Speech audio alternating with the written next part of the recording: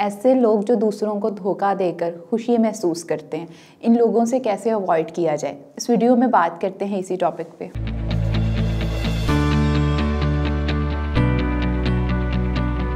Aslam this is me Fatiha Ashraf मैं consultant psychologist हूँ। इस वीडियो में हम बात करते हैं ऐसे लोगों के बारे में जो कि दूसरों को धोखा देकर खुशी महसूस करते हैं। और इनमें किसी भी किसी की कोई एम्पथी नहीं होती, दूसरों के लिए कोई फीलिंग्स नहीं होती।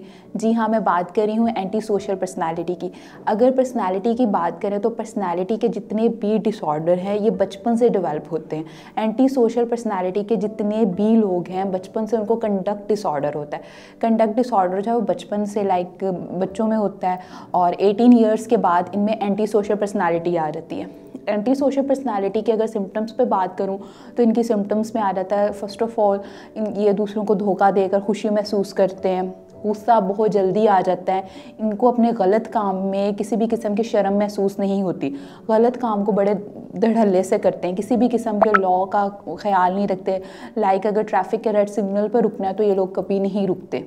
चोरी करते हैं, गलत कामों की तरफ़ इन्वॉल्व होते हैं और ला का बिल्कुल भी ख्याल नहीं रखते। अगर बचपन में कंडक्ट डिसऑर्डर की बात करें तो कंडक्ट डिसऑर्डर में वो बच्चे आ जाते हैं लाइक बचपन में छोटे छोटे काम करना लाइक चोरियाँ करना, अगर जानवरों को बेवजह तंग करना, कि बचपन से ही इनकी पर्सनैलिटी में ये चीज़ आ जाती है और at the time eighteen years के बाद इनमें एंटी सोशल पर्सनैलिटी आ जाती है। लगता है बाज़ार के खाने बहुत खाते हो। जी डॉक्टर साहब। मैं ये मेडिसिन प्रिस्क्राइब कर रहा हूँ वो आप ले लेना। अब कोई भी मसला हो तो मरहम से डॉक्टर की ऑनलाइन कंसल्टेशन बुक करो क्योंकि डॉक्टर से बात होगी अब घर पर। एंटी सोशल पर्सनैलिटी जो है वो सोसाइटी में काफ़ी ज़्यादा कॉमन है। और अगर इस डिसऑर्डर की बात करें तो सबसे पहले आता है एक्सेप्टेंस ये लोग एक्सेप्ट नहीं करते इनको कोई डिसऑर्डर है।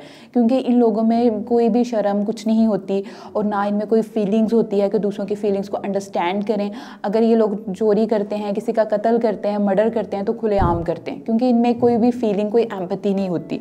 और अगर इनके ट्रीटमेंट प्लान पर बात करें तो इनके ट्रीटमेंट प्लान में आ जाता है कि एक्सेप्टेंस आ जाता है। ये लोग एक्सेप्ट नहीं करते कि इनको कोई डिसऑर्डर है। इसलिए ये ट्रीटमेंट के लिए बहुत कम आते हैं। और पर्सनैलिटी के जितने भी डिसऑर्डर हैं, ये सबसे ज़्यादा ज़िद्दी और ढीठ किस्म के डिसऑर्डर होते हैं, क्योंकि ये बचपन से डिवेल्प होते हैं। फॉर एग्ज़ाम्पल बचपन से एक बच्चा जो है, वो सच बोलता है तो उसकी पर्सनैलिटी में ये चीज़ आ जाती है। अब इन लोगों की पर्सनैलिटी में ये तमाम नेगेटिव चीज़ें आ जाती हैं लाइक झूठ बोलना, चोरी करना, धोखा देना तो इनकी पर्सनैलिटी से ये चीज़ें रिमूव करने के लिए एक टाइम टेकिंग चाहिए होता है। अगर ये ट्रीटमेंट प्लान के लिए आए तो इसमें यही चीज़ देखा जाता है कि आफ्टर थेरेपी उनका रिस्पॉन्स कैसा होता है।